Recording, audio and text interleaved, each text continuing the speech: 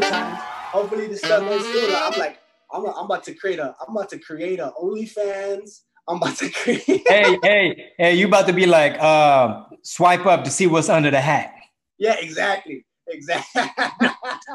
hey, hey, brother. Hey, we're in the same boat, man. Uh, I've been living off my art for a long time as well. But in these COVID times, ladies and gentlemen, yeah, man, got these new hats right here, baby. You know what I'm saying? You know where to get them at, big dog. You know what I'm talking about?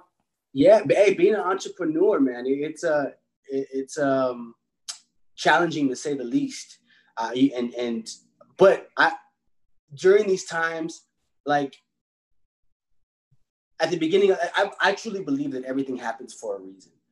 Um, there's a there's a, a, a world like a world reason, and then there's a reason within your life, your own journey. And I believe this time for me in my life is a moment to test my patience and my belief in myself. Now, ultimately, I believe I'll get through this, and and uh, I I've already like I've thought about the worst case scenario. I was like, okay, what if worst case scenario the industry never comes back? What happens? I go, well, maybe I have to sell. I have to probably sell my place and live in my car and live in a tent in my sleeping bag. And I was like, I went to that extreme to see how I felt about it, and I was like, well, I'll be okay. I, f- I find a way to support myself. Unfortunately for me, I don't have a family to take care of, so I can have that that freedom and, and liberty.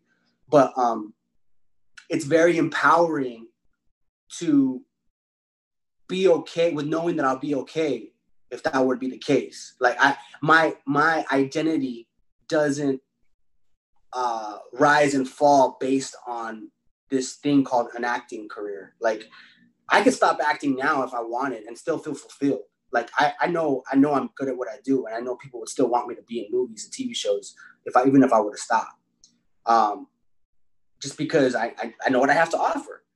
Um, but again, being being able to emotionally and, and, and be okay with yourself, knowing if, if things were to uh, shit were to hit the fan, so to speak, excuse me, and, and be the worst case scenario, that I'd be okay with that. But ultimately, do I believe that's going to be my my my future, no. I believe we'll get through all this in, in time and I'll be back up on set